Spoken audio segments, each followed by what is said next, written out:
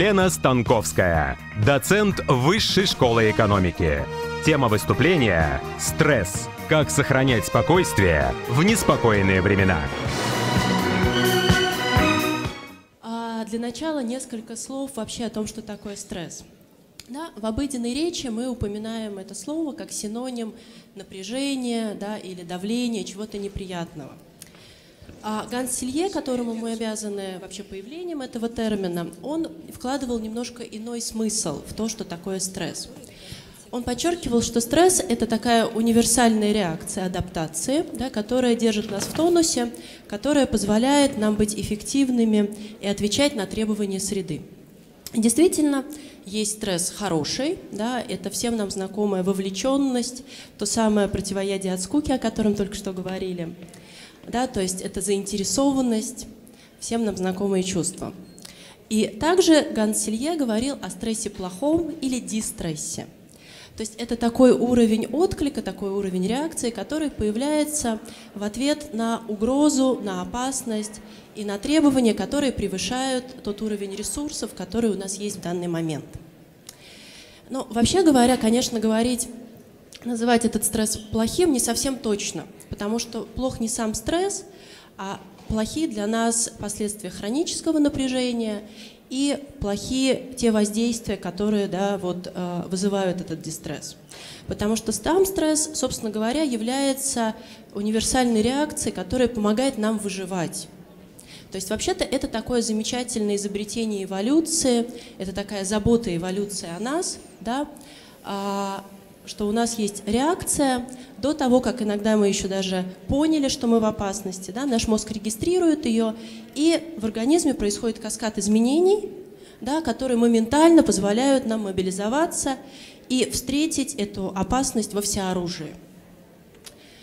А то, о чем важно помнить, а, когда мы говорим о стрессе, это что эта реакция изначально эволюционно возникла в ответ на физические опасности – и вот здесь возникает интрига, которую я сегодня в выступлении буду раскрывать, да, потому что, собственно говоря, в современном мире большинство стрессоров, то есть того, что вызывает в нас напряжение, они не относятся к физической опасности, да, потому что мы чаще э, сталкиваемся не со львами, да, а с пробками на дорогах, с высоким темпом жизни, с большой срочностью, с тем, что наш телефон никогда не замолкает, с рисками финансовых каких-то неуспехов, неудач, с большим страхом личных неудач, да, потому что нам постоянно важно держать лицо, производить впечатление.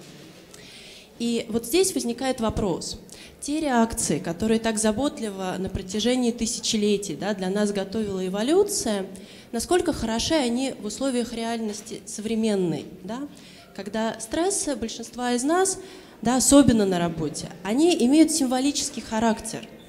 То есть речь идет не о львах, да, а там, э, грозных начальниках, непослушных подчиненных, сроках, которые сложно э, соблюсти, да, там, партнерах, которые вносят изменения какие-то без согласования и так далее. Да? То есть вот как раз сегодня мы поговорим о том, как стресс э, проявляется э, в современном мире, когда символические угрозы. И, собственно говоря, э, в своем выступлении я затрону два момента. Первый момент – это то, почему так важно уделять в современном мире внимание телесному компоненту стресса, телесному отклику. И второй момент, да, э, это очень важно – как мы можем использовать ресурсы нашего сознания, а именно внутреннего диалога, для того, чтобы эффективно выпутываться из оков символических вот этих опасностей, из оков стресса, которые с ним связаны. Такие два вопроса вот мы сегодня затронем с вами. Итак, стресс и тело. Как я уже сказала, да, стресс представляет собой комплексную реакцию мобилизации в ответ на угрозу. И а, на телесном уровне очень быстро происходит очень много. То есть это такой каскад событий. Да, потому что когда зарегистрирована опасность, у нас учащается сердцебиение, кровь от внутренних органов приливает к мышцам крупным, да, так, чтобы обеспечить движение. Подавляется деятельность желудочно-кишечного тракта, у нас пересыхает во рту, у нас расширяются зрачки, мы мобилизованы, да, максимальная энергия высвобождена для того, чтобы мы могли ответить на некоторую опасность. Дальше, в зависимости от того, какая опасность зарегистрирована, да, выбирается автоматически, опять же, без нашего сознательного контроля, а, способ реагирования да, или стрессовая реакция. И в 30-х годах а, американский ученый Кеннон описал две такие реакции, вероятно, многие из вас слышали о них. Это бегство и нападение. Бей или беги. Да? И бегство, соответственно, а, выбирается, да, то есть как бы наш организм выбирает его, это несознательно происходит, если опасность далеко и противник сильнее, если э, противник слабее нас, то мы начинаем сражаться. Потом было обнаружено, что есть еще одна реакция стрессовая, а именно замирание, да, когда опасность неминуема, мы понимаем, что силы противника велики, они превосходят наши, и мы замираем. Вот что очень любопытно, а, а, особенно для темы нашей конференции, начиная с 2000-х годов ученые стали говорить об еще одном стрессовом отклике, который специфичен для женщин. То есть вот обнаружилось, что вот эти вот три реакции, они не очень точно подходят для описания того, что происходит в ответ на угрозу с женщинами, ну и с вообще представительницами женского пола в, в мире животных тоже. А, дело в том, что а, стресс, да, опасность застава, ну, как бы традиционно, исторически да, заставали женщину, как правило, не одну, а с потомством, и, соответственно, стрессовый отклик должен был обеспечить не только выживание ее, да, но еще и потомство. И в этом смысле бегство или сражение, да, они не так эффективны. И тогда эволюция помогла нам разработать такой замечательный механизм, да, как поиск социальной поддержки – а, да, я не нашла устоявшегося перевода русского, поэтому я немножко так буду использовать э, свой, да, импульс к тому, чтобы задружить, to be friend. Вот. И это действительно с помощью поддержки социальной группы шансы женщины да, или а, там, самок в случае животного мира на выживание резко повышаются. На выживание собственное и потомство. Что здесь важно, а, что в стрессовой ситуации как бы я женщина склеивается с мы. То есть фактически в ситуации стресса у нас возникает э, желание спасать отношения.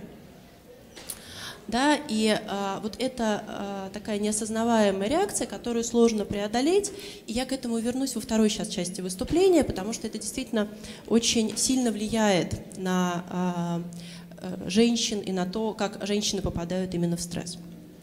Но возвращаясь вот к э, телесному уровню реагирования, да, значит, а, действительно, то есть как и в случае с физической опасностью, да, а, в нашем теле моментально возникает вот такой гормональный коктейль, да, и готовность действовать.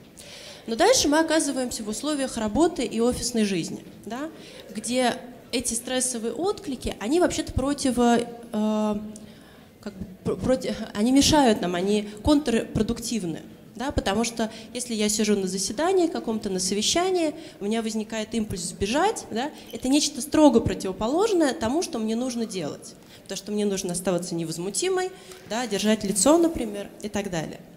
Поэтому а что происходит? Да, вот эта активация внутри, которая есть, я не могу ее выразить, я начинаю с ней бороться, да, для того, чтобы э, ну, сохранить лицо и выполнить те задачи, которые есть, и действительно не попасть в большую опасность. То есть я напрягаю мышцы, я начинаю сдавливать, сдерживать свое дыхание, да, и тем самым я а, торможу вот это проявление этой стрессовой реакции. Но то, что не совсем невидимо, но что очень сильно на нас влияет, что тем самым я разрываю естественный цикл а, стрессового реагирования. То есть что происходит? Что вот тот гормональный коктейль возник, да, который возник, он в природном мире, да, он бы вызвал некое движение, да, дальше, например, я бы побежала или сражалась, да, а, оказалась бы спасенной и отпраздновала это через состояние спокойствия, да, то есть цикл завершился бы, я оказалась в спокойном состоянии. Здесь происходит следующее, мы разрываем этот цикл, и получается, что э, этот гормональный коктейль, да, он продолжает свое воздействие на тело, а стресс становится хроническим, потому что я не завершаю стрессовую реакцию. То есть я не попадаю в то состояние, где я вновь чувствую себя в безопасности. И вот здесь то, что нам важно делать, это завершать эти стрессовые отклики, причем вот на таком э, физиологическом, телесном уровне, потому что это действительно очень важно. Что нам здесь помогает? Да? Это дыхательные техники, которые мы можем применять на любом совещании. Это практики заземления, когда мы, например, ногами да, ощущаем стабильность опоры, которая нас держит. Это э, практики центрирования, когда мы находим и обнаруживаем и втелесниваем, как говорят мои коллеги, вот это ощущение безопасности в теле. Да? Вот это помогает нам в момент стресса э, ощущать себя более спокойными и тем самым как бы уменьшает сам наш стрессовый отклик. Да? Что еще важно, да, это э, завершать, э, вот освобождаться от этого напряжения, которое возникло. То есть это то, что уже невозможно в, непосредственно, например, там, во время встречи, да, но то, что мы можем делать потом. То есть э, как-то танцы, бег, аэробика, йога, плавание, да, все, что, ходьба, все что угодно, что позволяет вот это напряжение завершить, да, то есть пройти этот цикл. И вновь почувствовать себя в безопасности. То есть э, заметить, что стресс миновал, и отпраздновать эту победу. Да? Вот это очень важно.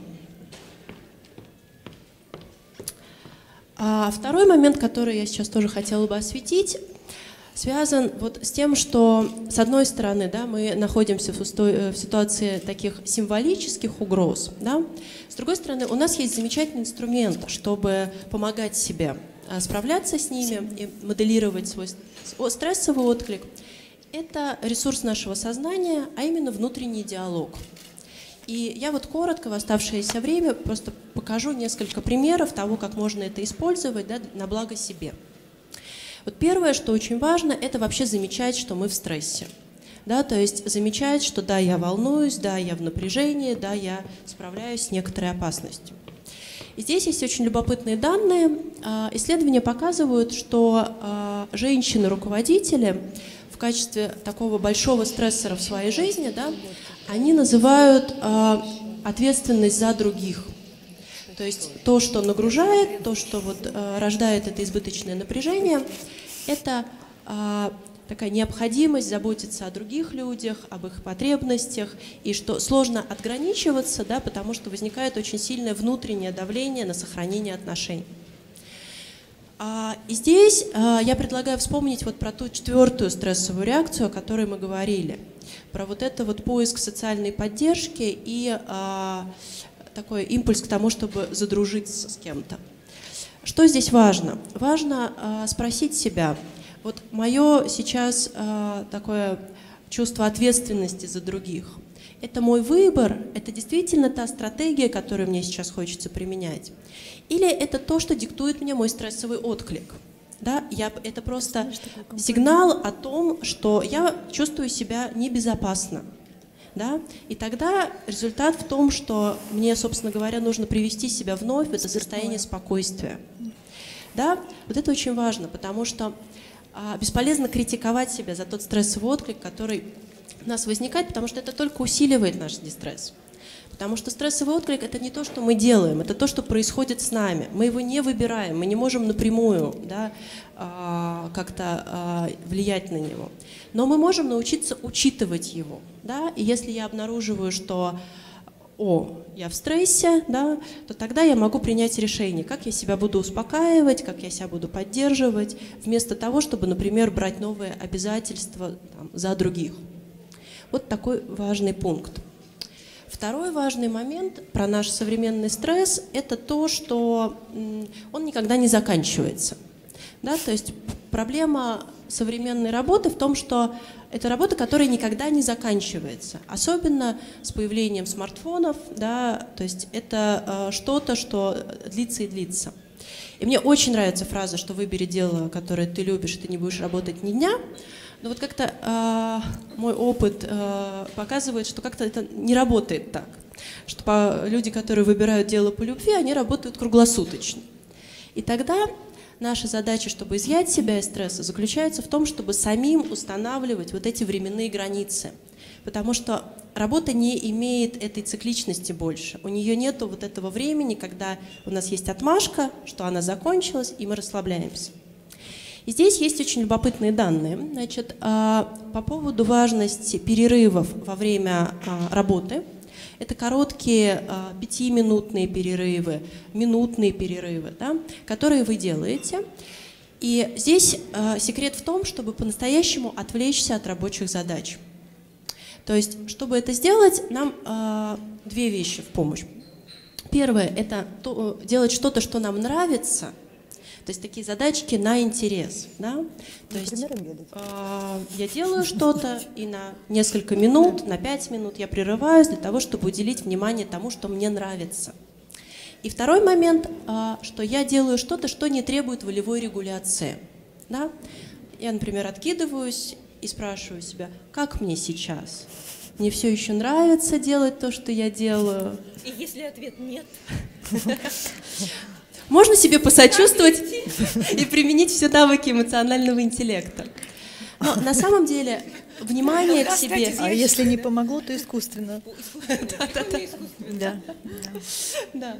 Но если э, ответ нет, это тоже очень важно, потому что тогда э, к этому тоже можно вернуться, потому что если в моей жизни доминирует то, что, то, что мне не нравится, то мне, вероятно, стоит здесь что-то пересмотреть. Следующий перерыв. В следующей жизни, Настя. Да. Вот, это такие важные вещи. Вторая, ну, на самом деле эти приемы, они завязаны на то, что наш волевой ресурс, он истощается, и поэтому действительно очень важно э, заботиться, ухаживать здесь за тем, чтобы у нас был волевой режим, э, ресурс. И второй очень важный момент связан с тем, что э, с качеством отдыха такого ежедневного и еженедельного, потому что исследования показывают, что на качество нашей жизни и эффективность восстановления от стресса да, влияет не столько такой отпуск, вот, который там раз или два раза в год случается с нами, а качество ежедневного и еженедельного отдохновения и восстановления. Здесь важно тоже делать то, что нам нравится, быть в компании тех, с кем нам нравится проводить время, делать э, что-то новое, да, то, что доставляет нам удовольствие и так далее. То есть вот это такие важные моменты. И э, последний пункт, о котором мне хотелось сегодня сказать, это про стресс, который мы создаем себе сами. Да, потому что это то, что сильно отличается от мира животных, да, а, Дело в том, что в большинстве э, случаев да, очень много стресса в современной жизни он, он э, возникает в связи с теми требованиями, которые мы предъявляем к себе сами. Да? А, нам очень важно держать лицо да, перед другими, перед самими собой, и на это уходит много сил, и это вызывает много стресса. И здесь вот действительно очень важно а, прочерчивать свои границы, задавать себе вопрос, да, вообще э, хочу ли я а, сейчас в это так вкладываться, да, и а, вести такой более поддерживающий какой-то диалог, да, но это как бы крупными мазками, сейчас я говорю mm-hmm. об этом, вот, но а, на самом деле действительно мне хочется пожелать вам вот такого поддерживающего диалога, который будет вам помогать а, выпутывать себя из стресса, да, и достигать того, что вы хотите достичь с удовольствием.